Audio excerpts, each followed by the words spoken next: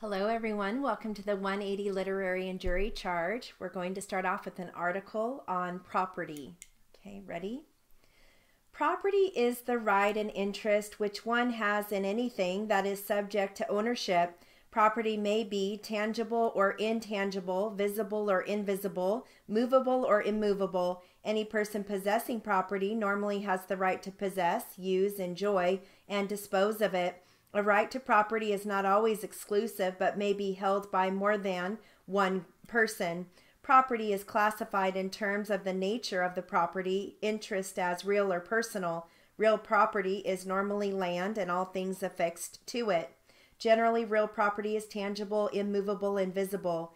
Real property may include land, houses, trees, and buildings. Personal property is generally defined as movables. Personal property is sometimes defined as all things that are not classified as real property. Personal property may include the following items clothing, automobiles, jewelry, furniture, and appliances. Intangible property includes goodwill, aesthetic value, and in some cases, work of art and music. In most instances, intangible value is subjective value. okay.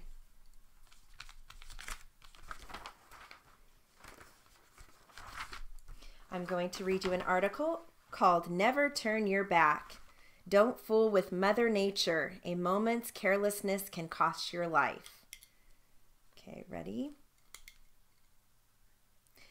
Americans have always had an ambivalent attitude toward the out of doors.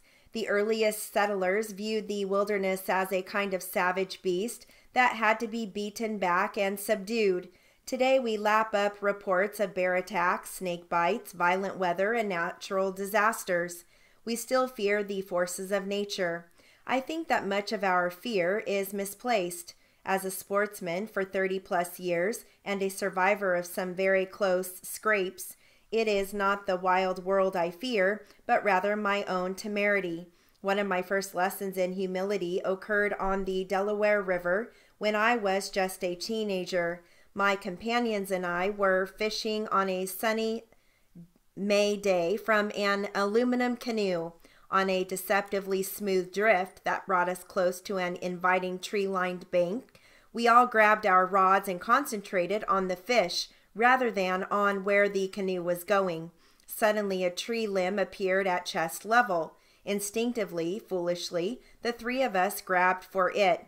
The current swept the canoe out from under us, leaving us clinging to the limb, neck deep in icy water.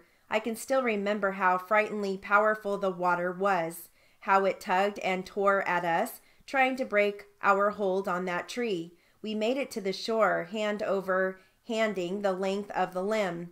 When we found the canoe, it was wrapped around a rock. We needed a block and tackle to pry it free of the river's strong grip although I have since made it a practice always to have someone on the oars or a paddle when floating any river in any kind of boat, lapses in judgment that turn into big trouble can make many other forms or can take many other forms. I once was surf casting on Mexico's west coast.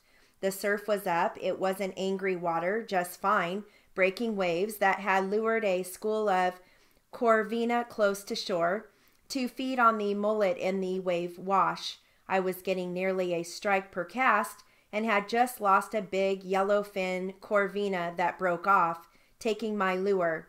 I was excited to waste time wading back to shore to tie on a new lure. Instead, I simply turned my back to the surf, clamped my rod butt between my knees, and knotted a new lure to my line right there.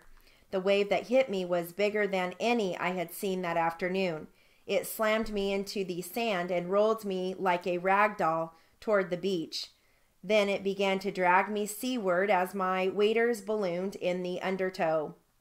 While the huge wave retreated from the beach, it sucked enough water back to sea so that I could find my footing and stand in thigh deep water.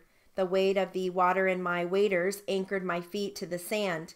Once the strong undertow subsided, I managed to waddle back up onto the beach. Another failure to recognize potential disaster almost cost me my wife. We were hunting for broadbills in the Great South Bay off Long Island, New York, a form of waterfowling where you shoot over decoys from a low profile boat, a scooter anchored well offshore. The best hunting place takes place during bitter cold weather when the bay's ice is up. Pockets of ice free water open in the mantle of ice, and broadbills are drawn to them like chickens to cracked corn. Because it is such a cold sport, it is customary for one person to man the scooter while the other keeps warm in a nearby car.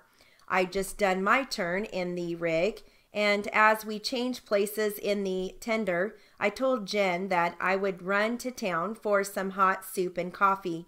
It was a sunny, calm day with temperatures in the low 20s. Every sign pointed toward stable ice. But when I returned 10 minutes later, my knees buckled. Inexplicably, the ice had broken loose from the shore and was drifted toward Fire Island, some four miles away. The scooter, decoys, and Jen were caught up in its leading edge. Although the scooter was equipped with oars, Jen found that rowing into the ice sheet was impossible. She tried to break ice in front of the bow, then paddle a few feet forward, but the oncoming ice would meet the boat before it made any headway. I jumped into the tender and held my breath. I had no idea if the five horse outboard had enough power to break a path to the scooter or enough reserve to get us both back to shore. The motor raced, kicking up a rooster tail of spray. The boat inched forward, the soft salt ice buckling under it. I got a line to the scooter, bid farewell to the decoys, and kissed both the sand and Jen when we got ashore. People don't deliberately set out to freeze or drown or slide off steep trails, but such things happen all the time. Every autumn, there are stories of sportsmen who leave home unprepared for sudden changes in the weather and fall victim to exposure. Every spring and summer, easily avoidable boating accidents claim lives, and fishermen are swept away by a combination of currents and slippery rocks and a moment's carelessness. Does this mean we should fear the outdoors? Of course not, but it does mean we should never fail to respect it. If we always keep in mind the human capacity to get into trouble by failing to think ahead, We'll never, through arrogance or ignorance, turn our backs on nature's awesome potential.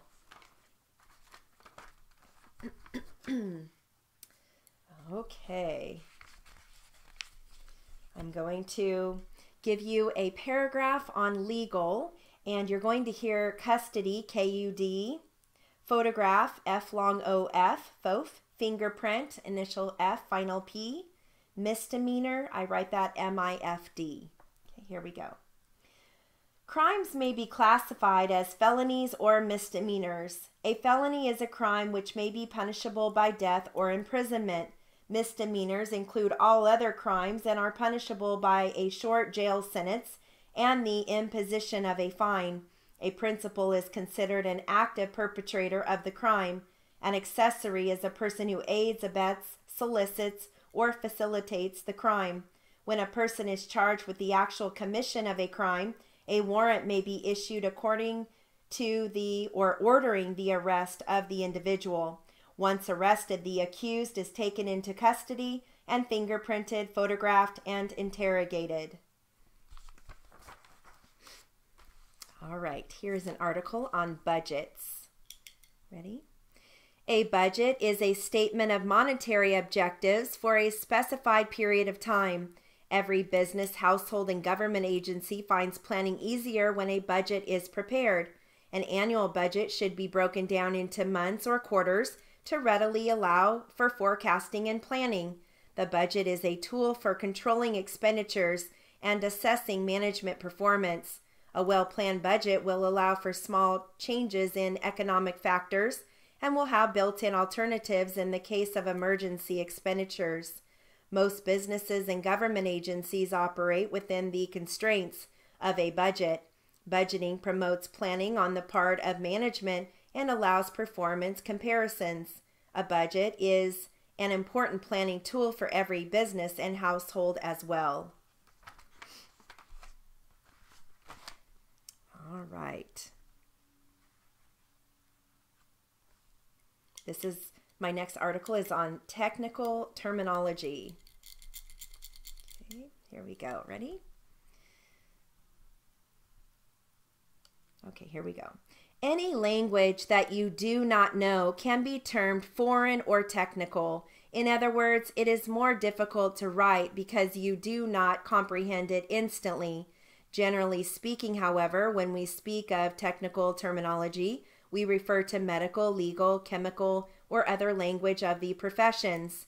A mathematician, for, for instance, can speak about the properties of mathematics. A nuclear physicist can speak for days about his specialty in the language that can make it very difficult to report. The reporter does not have to be a doctor in order to write what the doctor says, or a lawyer to report what the lawyer says, and so on. The reporter must, however, become familiar with enough of the language of these and other professions so that the words can be reported with a minimum of difficulty and hesitation. Shorthand speed drops rapidly when you have to ponder what was said before writing it. The first thing to do is to learn as much about English vocabulary as you possibly can. Take English courses. If you feel that you would like to further improve your knowledge along these lines, try to enroll at a local college or university to learn more about the important subjects such as legal and medical terminology. Read books on anatomy, physiology, chemistry, engineering, law. Some of the textbooks used by nurses, nurses training schools are good references for the student reporter. The National Shorthand Reporters Association publishes a professional series of texts, including volumes of English, medical, and legal terminology. They are excellent sources of material for students. When you know that you will have to report a highly technical case or deposition, read as much as you can about that specialty in advance. You will have fewer surprises during the course of the case or deposition. Many hearings are being held concerning environment and ecology. These fields offer their own set of technical terms. The U.S. Environmental Protection Agency publish, publishes a glossary of common environmental terms and can be had for the asking. It includes terms and definitions of, the, of most of the words and phrases that you might be expected to write when reporting an environmental protection hearing. Not everything you report will involve a so called expert witness whose language will make your work harder. To be safe, however, you must assume that your future as a court reporter will be peopled with enough expert witnesses from the various sciences and professions that you should begin now to increase your knowledge about as many disciplines as you can. Okay. Got an article here on the Amish Odyssey one man's journey into the heart of an extraordinary people. Okay.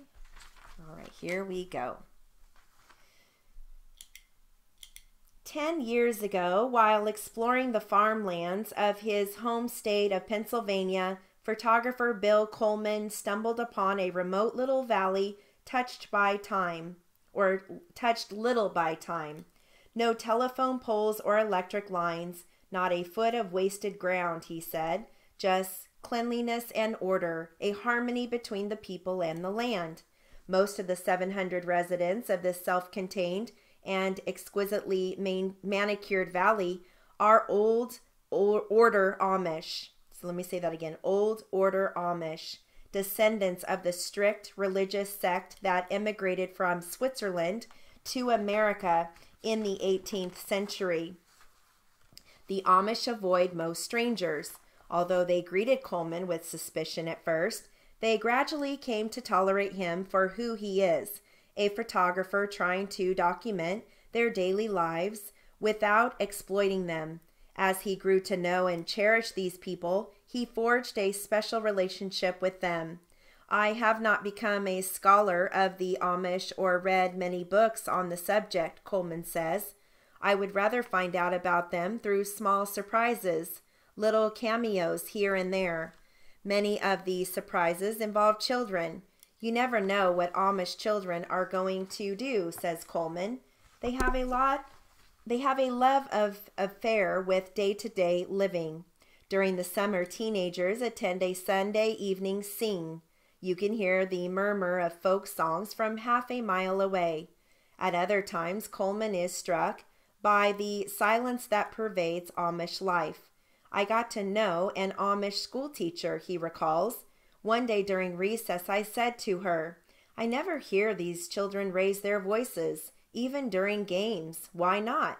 She said, Well, did you ever hear an Amish adult raise his voice? For Coleman, taking these photographs has become a life's work. Each day I venture into the valley, he says, I expect to be humbled by seeing something I've never previously noticed. When I do, it's sudden joy, but at the same time I feel, why didn't you see it before? It was here, you know. With an unobstructive and loving, even envious lens, Coleman has created more than just photographs. His soft, luminous images can be read as a diary of one man's journey into the very heart of an extraordinary people. I too always feel so fascinated with them. Okay.